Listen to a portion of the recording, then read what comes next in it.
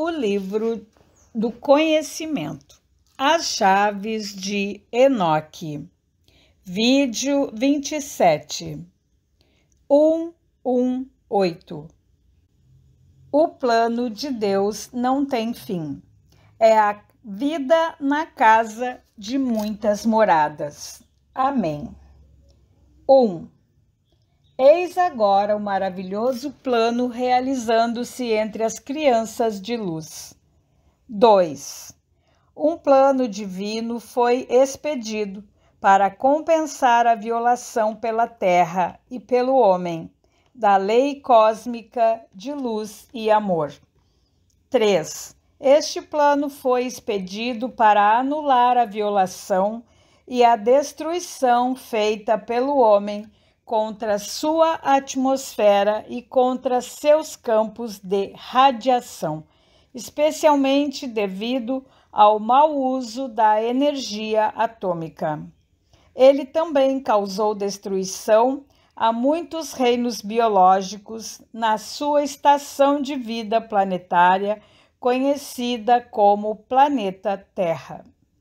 4 o homem demonstrou que ele perdeu o controle de seu planeta em virtude do perigo que ele representa, não somente para si mesmo, mas para os meios ambientes planetários circundantes, em sua busca da energia atômica para uso destrutivo. 5. Além disso, os conselhos que governam nosso campo planetário tem também observado o desejo do homem de estender sua sociedade planetária a outras regiões planetárias, sem entendimento espiritual e ainda usando uma tecnologia de morte. 6. Estes conselhos incluem o Conselho dos Nove, que governa nosso universo local, o Conselho dos Doze, que governa novos programas de criação para nosso universo local e universos circundantes. E o Conselho dos 144, que é o supervisor das hierarquias espirituais nos universos que compreendem nosso universo Pai. 7 está ocorrendo presentemente uma sobreposição de espaço-tempo com a evolução superior, à medida que o sistema solar da Terra entra em uma zona de nulo eletromagnético, uma área de vácuo no espaço que mudará as forças magnéticas de criação. 8. A mudança da densidade eletromagnética na atmosfera da Terra ativará algumas espécies a se tornarem mais violentas e outras espécies a se tornarem mais semelhantes a Cristo. À medida que o homem ou é atraído para uma espiral ascendente de luz ou anulado pelo colapso da antiga frequência eletromagnética. 9. Isto trará uma completa reorganização do sistema de vida da Terra, à medida que a criação humana começa a operar com um novo poder criador magnético e eletromagnético. 10. Atualmente, há também uma guerra galáctica e uma operação de limpeza que está sendo terminada em todo o universo a qual avançará algumas formas de inteligência de população 1 às regiões estelares de população 2 e reciclará aquelas formas de inteligência de população 2 que usaram seus conhecimentos para criar aberrações nos céus. 11 depois da conclusão do programa historicamente conhecido como Israel, o qual significa, nos rolos hebraicos originais, a consciência de luz que luta junto com a mente superior, até a vitória. Haverá uma reprogramação consciencial da humanidade neste planeta, na região originalmente identificada como Atlântida. 12. O programa Israel é um dos muitos dentro do caminho infinito que se cruza com muitos níveis de inteligência diferentes.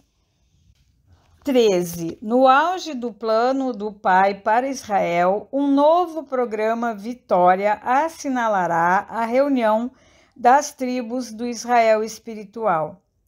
14. As doze dimensões conscienciais do homem espiritual receberão sua reprogramação central na terra original do antigo de Dias. Esta é a sagrada terra do Ocidente, que é a região das malhas originais usadas pelos mestres de Yod-He-Wod-He entre 3 e 4 bilhões de anos atrás. 15. Sobre esta malha, uma nova cristalização será criada quando os ciclos do Oriente e Ocidente se combinarem para receber a luz viva do Cristo reinando sobre o planeta por meio da Irmandade de Luz. 16.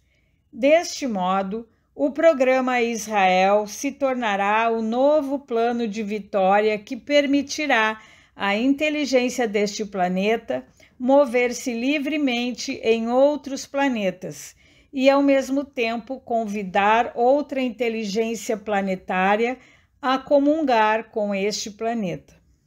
17. Antes que a nova história da criação aconteça, a Terra passará por mudanças catastróficas e geomagnéticas brutais, quando as regiões magnéticas do Polo Norte e Polo Sul liberarem seu torque, girando a crosta da Terra para o novo programa de existência. 18. Durante a finalização dos ciclos de progressão estelar, nosso sistema solar inteiro entrará em um vácuo no espaço onde não existem campos eletromagnéticos. Isto é denominado uma zona de nulo eletromagnético. Nesse tempo, ondas cósmicas entrarão nas áreas polares de nossa Terra e penetrarão no próprio núcleo de nosso globo.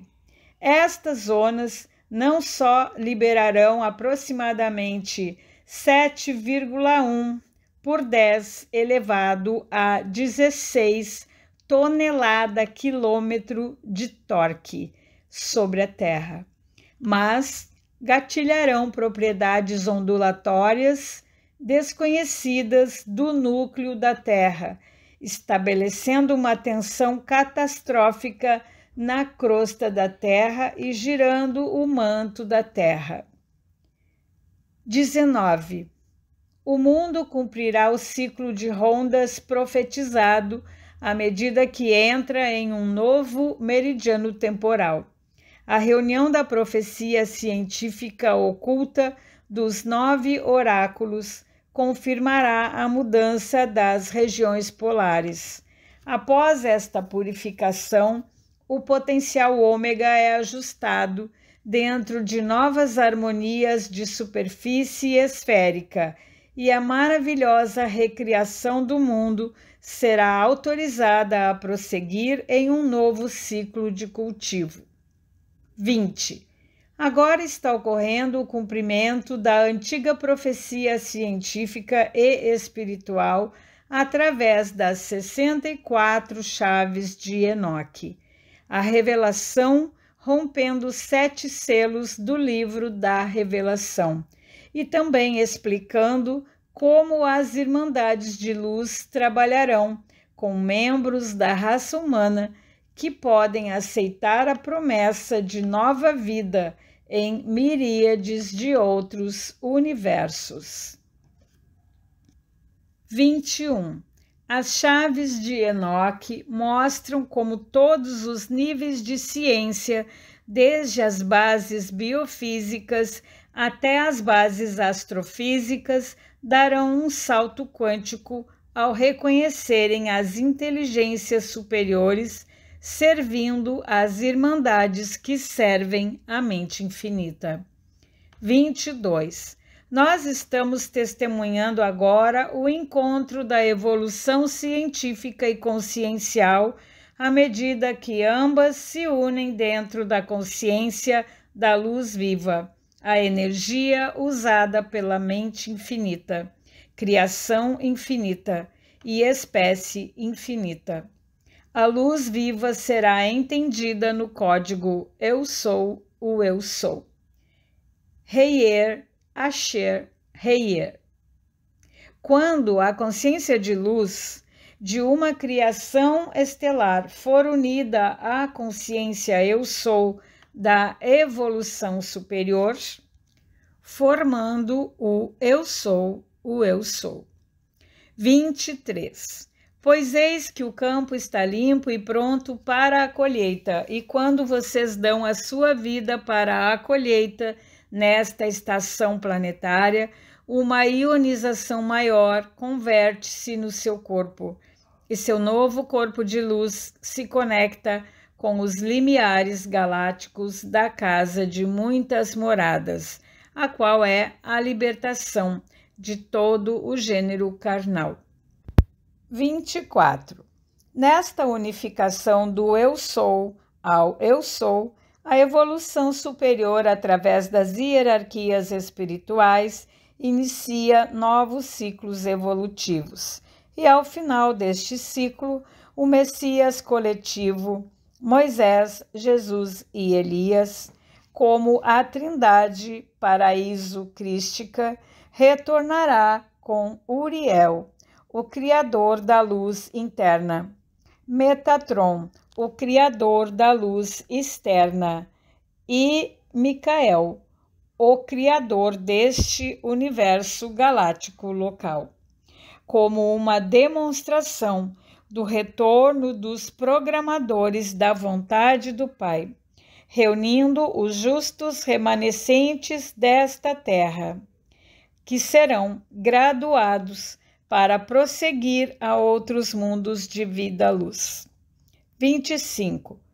E ocorrerá que, após as guerras entre os filhos de luz e os filhos de trevas, virá uma nova era para toda a humanidade, que sobreviver às grandes mudanças, a todas as vicissitudes neste planeta.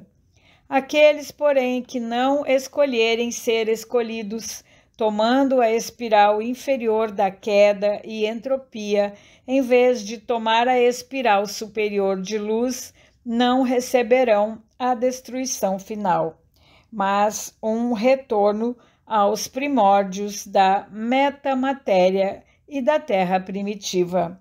Isto iniciará o próximo ciclo de recriação à medida que os justos são avançados à próxima ordem de evolução dentro da próxima célula temporal consciencial, como concidadãos e coparticipantes em miríades de dimensões da mente universal de Yod-He Wod-He, ao fundo de todos os deuses criadores. 26. E sucederá que, quando os senhores de luz conectarem este mundo vivo com a próxima ordem de evolução, o corpo do homem atravessará a pirâmide carnal e cristal e será transfigurado na próxima pirâmide estelar de luz, ultrapassando finalmente numerosas divisões galácticas pois tudo está conectado com a pirâmide cósmica do Pai, que integra todos os controles centrais, todas as redes administrativas, ao fundo de todos os macrocosmos. 27. A chave então nos diz que o plano de Deus não tem fim. É a vida de luz na casa de muitas moradas e nos universos Filho Paraíso, e finalmente a vida de luz, nos muitos universos Pai. 28. Ao Mestre que serve fielmente ao Pai nas criações inferiores de mundo de pó, é dada a oportunidade de adquirir a natureza de ser autogerado, autossustentante e autocriador em nome de Yod-He, Wod-He. 29. E à medida que o mestre progride nos mundos de luz, ele sai da capacidade de ter somente uma incorporação de luz no extremo de seu universo local para a capacidade de habitar em nove corpos ao ser criado dentro do centro de seu universo. Deste modo, o Mestre se torna um Senhor de luz e serve igualmente a todas as nove células temporais conscienciais neste universo local de Micael. Nesta galáxia, a maior totalidade de vida possível é ocupar simultaneamente três veículos corporais em até nove células temporais. 30. As chaves de Enoque se cumprem através da hierarquia dos filhos paraíso, que operam nestes nove corpos de consciência de luz. Através de seus esforços, junto ao ofício do Cristo, os justos de Deus herdam os reinos de luz. A morte é tragada pela vitória e Osana é ouvida em todos os lábios. Selá. Selahá. 31.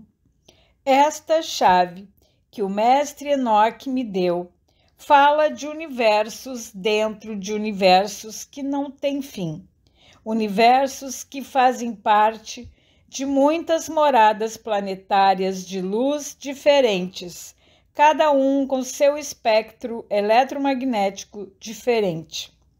32. Sistemas estelares selecionados são autorizados a mudar seus controles periestelares e epiestelares, permitindo conexões com padrões estelares duplos e múltiplos provenientes de outras moradas planetárias. Isto permite aos céus inferiores serem recarregados e a luz de inteligência avançada evoluir de um sistema solar a múltiplos sistemas solares, de ambos os sistemas solares físicos de um dado universo, e os sistemas filho espirituais da casa de muitas moradas. 33.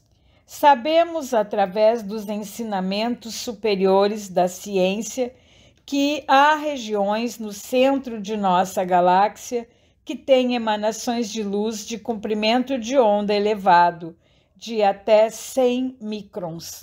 E sabemos que existem campos estelares brilhantes, tais como a região de W3 em nosso universo local que fazem parte da configuração central dos portais celestiais do norte, sul, leste e oeste do trono de nosso universo local. Estas são regiões de sistemas estelares de população 2, ardendo com a energia de milhões e milhões de sóis. E deve ser entendido que os sistemas estelares de população 2, que têm emissões de 0,02 micron, são equivalentes às zonas de teste internos do trono, que governam os testes de 100 bilhões de estrelas no espectro visível de nosso sistema de morada planetária. 34 Enoque disse-me que o poder dos sistemas estelares de população 2 pode criar toda uma variedade de formas de espécies pela interpenetração da hélice dupla de uma rede central de sistema de população 2 até uma banda quântica coexistente de mundos, possuindo um potencial em todos os tempos, comprimentos, massas e energias para unidade entre os mundos moradas. O movimento para a divindade pura transcende a identidade da fronteira bioquímica de cada planeta das Mazarot. 35. As Mazarot permitem o desenvolvimento de uma nova espécie, contendo 12 meridianos bioquímicos. Uma vez que isto seja completado, a forma da espécie ultrapassará estas séries de conexões rumo a uma nova rede contendo conglomerados supergalácticos conhecidos como as Mazalote. Enoque disse-me que as próximas Mazalote locais começam entre 1,5 e 2 milhões de anos luz de nosso local. 36. Os conselhos de inteligência durante o programa galáctico atual chamado 803345 têm estações nas regiões de 3C123, 3C263, 3C273. M87, Centauros X3, Hércules X1 e outras regiões, algumas das quais estão revelando padrões diferentes de luz que só agora estão se tornando conhecidas como imensas massas de nêutrons.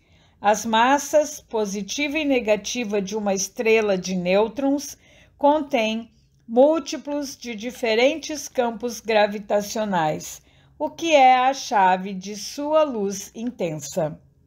37. Isto está sendo revelado aos radiofísicos da Terra, porque das 73 fontes de geração de luz superior, 12 não podem ser identificadas conforme as radioemissões de luz comumente medidas. As doze estão de acordo com o que o homem terrestre classifica como um novo espectro invisível de radioestrelas, todas parecendo operar com emissões máximas na região de 100 microns. 38. A pergunta é: como os conglomerados estelares podem parecer ter luz operando em 100 microns, quando a estrela comum de população 1 gera luz operando em um máximo de 50 microns. Onde está sua fonte de luz?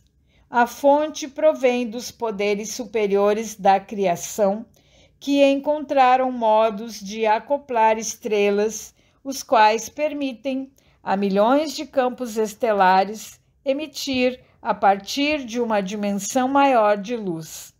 Estas estrelas podem colocar uma capa invisível ao redor de sua fonte de energia, de modo a preservar as emissões de luz que lhes permitem gerar novos sistemas de energia.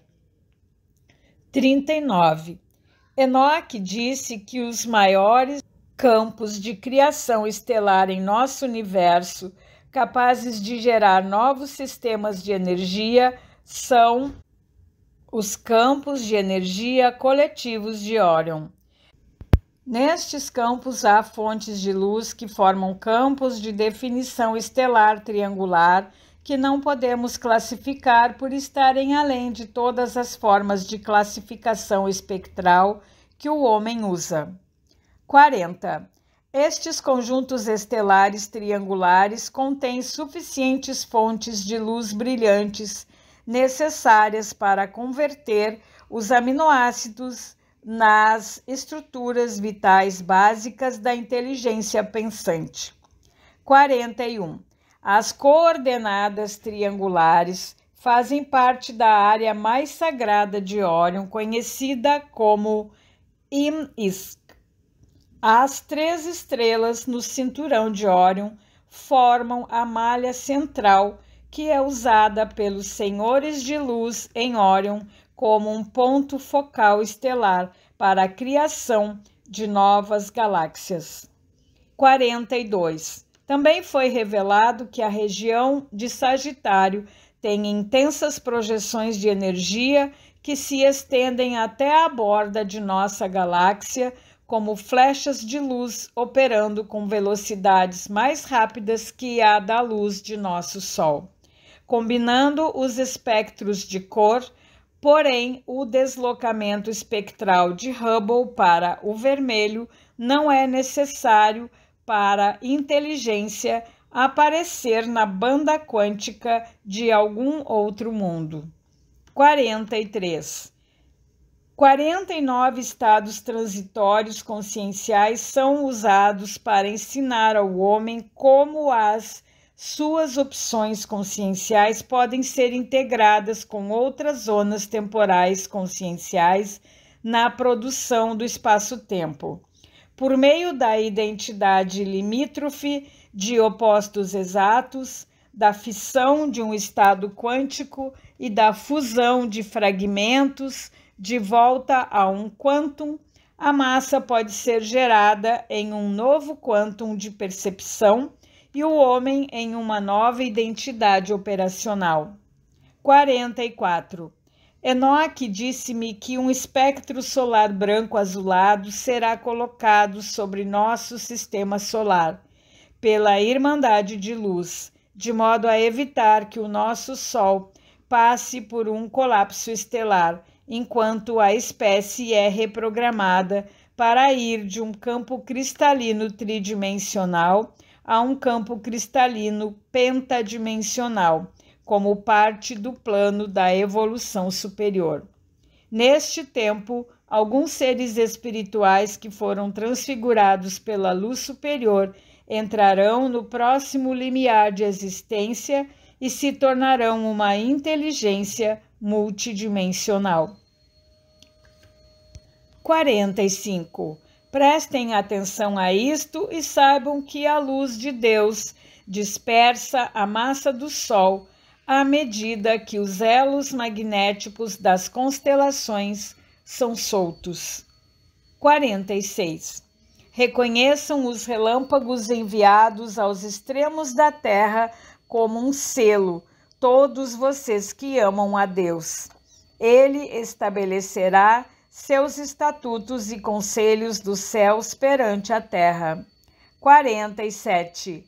O homem verá que as linhas limítrofes da inteligência não estão definidas de acordo com nosso sistema solar pelo contrário, as linhas limítrofes da inteligência trazem consigo suas próprias energias estelares para florescer outra vez, onde quer que a semente estelar seja levada. 48. Na criação total, o avanço da alma pode prosseguir para estes novos universos estelares, florescendo de novo somente se a alma tiver cultivado a energia para continuar.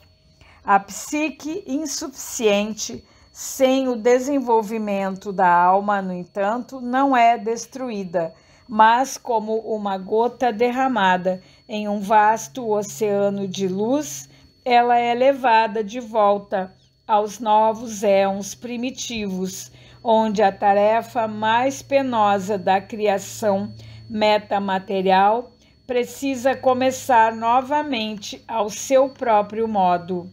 49. Enoque explicou-me que o plano de Deus não tem fim, mesmo em todo o nosso universo local, a vida continua a recriar-se. O homem está fadado à perfeição. E quando vocês compreenderem isto, vocês entenderão por que a casa do Pai tem muitas moradas. Amém.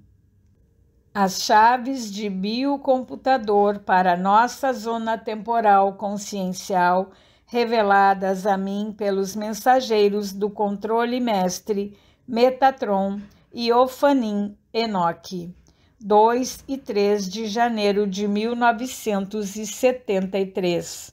Era desta zona.